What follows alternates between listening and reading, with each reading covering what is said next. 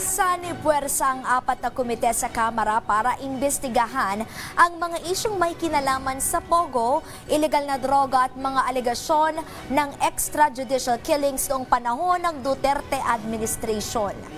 Ayon kay Congressman Robert Ace Barbers, mas maraming aktibo at retired na opisyal ng PNP ang nagpahayag ng kahandaang tumestigo sa isyu ng iligal na droga. Itinanggi ni Barbers ang alegasyon ni Senador Ronald De La Rosa na isang general ang pinipilit ng Kamara no tumestigo sa isyu ng extrajudicial killings at laban kay dating Pangulong Rodrigo Duterte.